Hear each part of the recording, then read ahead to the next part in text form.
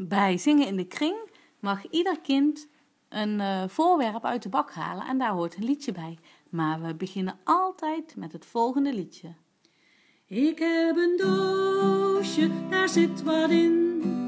Wil jij eens kijken, wil jij eens kijken? Ik heb een doosje, daar zit wat in.